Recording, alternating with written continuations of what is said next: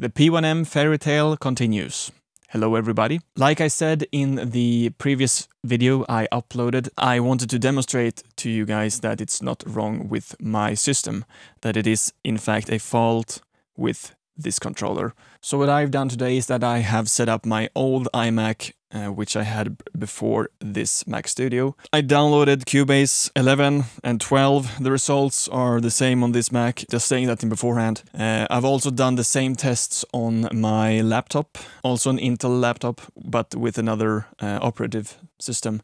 This is OS Catalina, and uh, on the laptop, I think it's Big Sur, the same as my Mac Studio. Anyway, the issues are identical.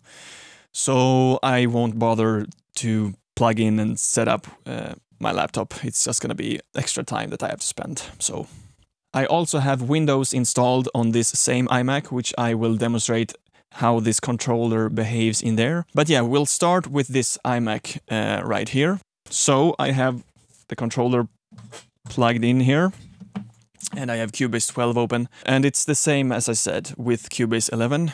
I won't bother to show you Cubase 11. Uh, it's, this, the results are the same. So comparatively, when I connect this new P1M into the Intel iMac right here, it doesn't disconnect. So that's a progress. It doesn't disconnect. It stays connected at all times. However, let me demonstrate what the first issue is here. So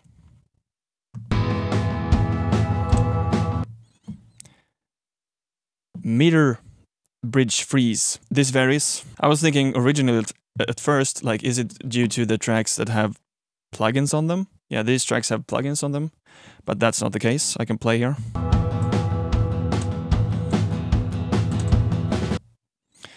And here we can see that these tracks does not have plugins on them. And and to uh, clear out the freeze, you simply have to, in this case, just go back and forth channel bank wise. So that is issue number one onto this Intel iMac. Same thing in Cubase 11, as I said, and the same results on my laptop over there. It lies over there right now. Uh, I did stumble upon another interesting thing.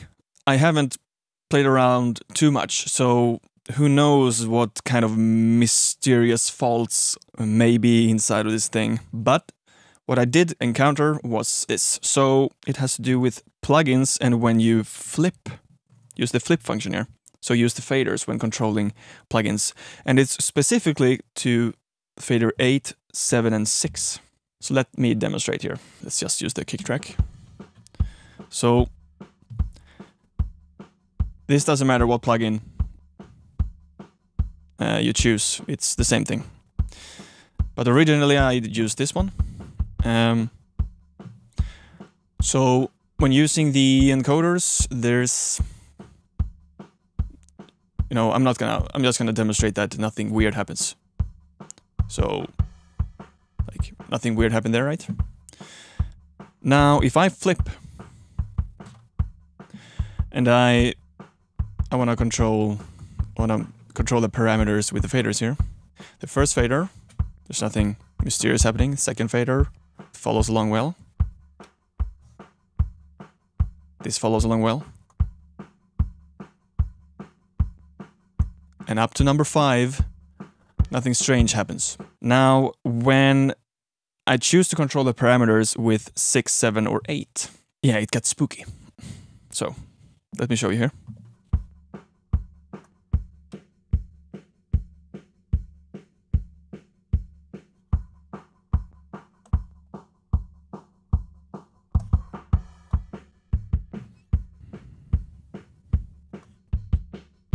Okay, so this is weird again. now six and seven, like this is what I mean. It's so like why is it irregular? So this is what is strange. I just claimed that fader six and seven would uh, uh, act spooky, but only eight did it for now. Literally minutes before I started recording, six and seven uh, did behave the same way the eight fader did. But yeah, let me show you then what eight does here. So we control the value here and then it jumps. So this is horrible.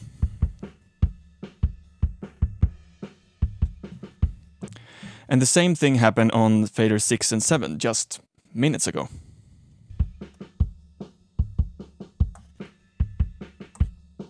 But it doesn't seem to now. Um, maybe if I play around with, I don't know.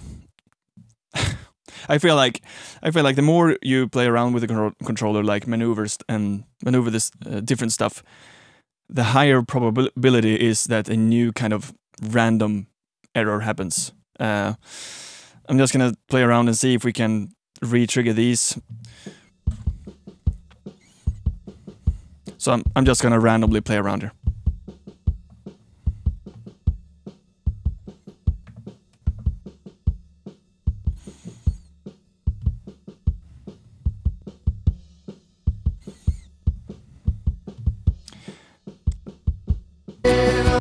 Go to it.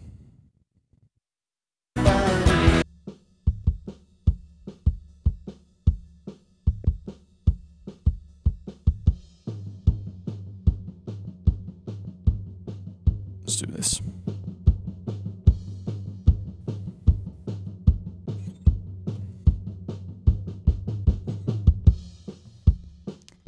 Nothing strange here, what I can see so far. I'm gonna flip now. This is supposed to work.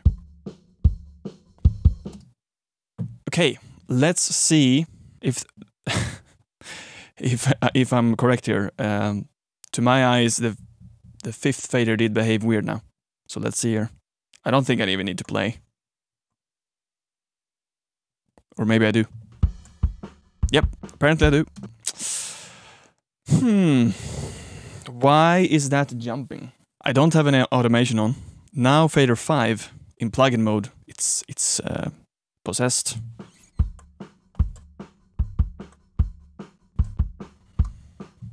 Yep. Let's see if... Yep. Do you... Do you see what I mean? They didn't do this. I mean, you saw it. Uh, it didn't do this. And then I just played around with the controller. And then I came back to the plugin mode with the faders flipped. Uh, and now it seems like 5, 6. Let's see if more behaves weird. Yep. It's weird because when I don't play, it seems to work.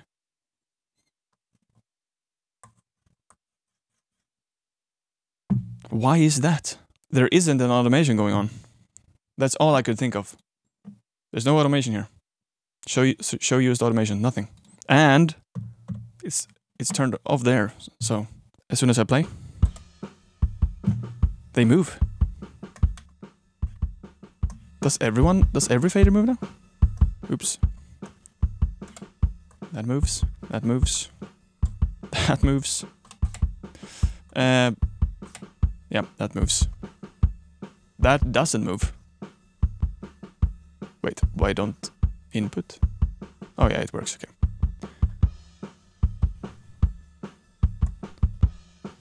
Yeah, okay. Okay, so now it seems like now it seems like one, two, and three works as they should, but not the rest.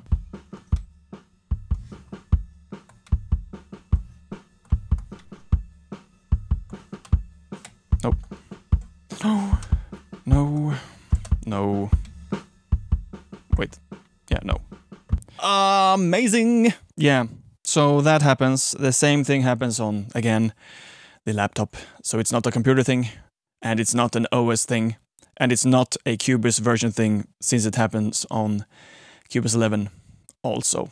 Okay, so now I am onto Windows. Let's see if any of the issues we just, or I just showcased uh, is prevalent here in Windows. Uh, let's play here. I first want to check if the meters freeze at all.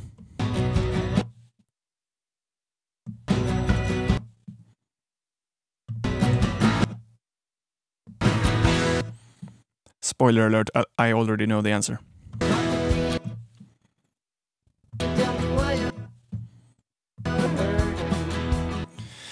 The meters doesn't freeze in Windows, so that issue is not prevalent here. Let us do the fader flip thing with the plugin. The same plugin.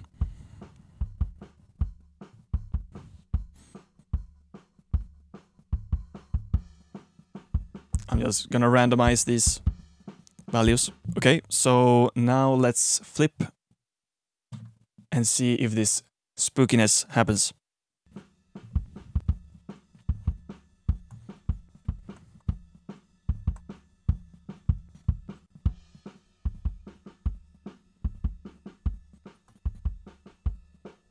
This I actually don't know, but I'm assuming I'm assuming that it, uh, it will behave normally.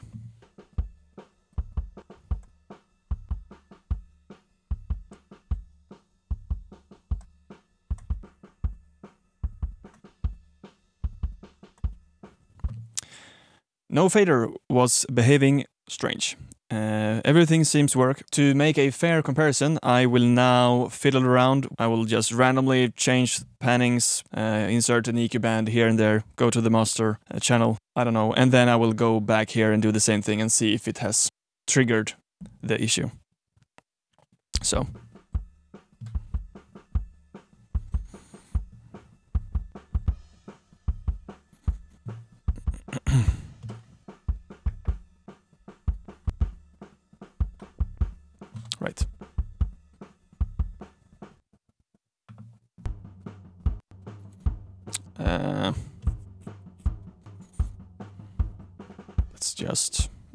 Noise I guess, onto that channel.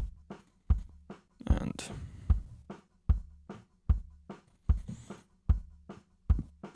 let's play around with that a bit.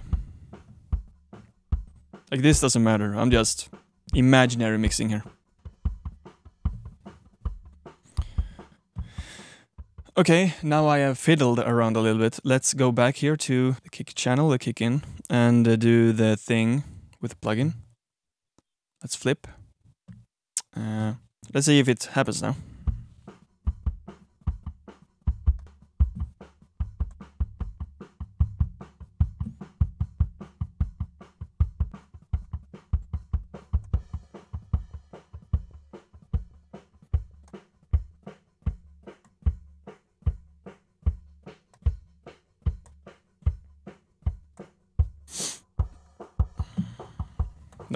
Like I already know that this won't happen. So yeah, when I sat down with this controller inside of Windows yesterday, I didn't manage to trigger a single thing. Uh, so I already knew that this wouldn't behave strange. I also tried in Cubase 11 and everything worked as it should. So with this information on my Mac Studio, it barely withholds a connection onto the Intel iMacs with different operative systems and like both Cubase 11 and Cubase 12. The issues are the same. The meters freeze, the weird thing with the plugin when you flip the faders. And on Windows, it seems to be free from faults so far. So all in all, it seems like the new P1M I received works on Windows, definitely not on Mac and definitely not on my Mac Studio. I have a suspicion that Icon has an issue with the Apple Silicon Macs. All in all, this experience has made me very uncomfortable with Icon Pro Audio. Uh, I'm doing these kind of videos uh, for you guys to be aware of, like that these things probably happen not only to me, but to other people. And I mean, I know that due to comments and messages I received. So I am making this to make people aware of it and also kind of slap Icon on the wrist and to tell them like this is not okay. Uh, like it would be a different thing, right? It would be a different thing if there was only like a small error, a minor thing, and I I had to wait like a month or two to get it resolved, and then it, that was it. But like everything combined, like it just feels bad. It's not a it's not a pleasant experience, and I've not had anything like this happen before. Absolutely sure. When I bought uh, this controller, for example, uh, I maybe I can showcase this uh, to you guys. Great thing. I recommend everyone to have this. I remember there was a slight uh, issue onto this controller, but I the, the response was quick, uh, and it and the solution worked. So that was like those things I can expect, but all this added together. Uh, I'm not passing with Icon at this moment. I'm not sure if I will make like a lossless video um, about this, but at this time I feel like I have got to say what I want to say to you guys who potentially are interest in interested in Icon products, to you guys who are experiencing issues. uh, and also to Icon themselves. Yeah, sucks. Stay tuned. I'm gonna make more videos. I really feel like I want to make more YouTube videos. That's it, guys. Thank you for watching. Please uh, subscribe and like, hit the bell notification. Would really uh, appreciate that. Take care, guys. Uh, may you have better fortune if you have a P1M controller or another product from Icon than me. Um, take care.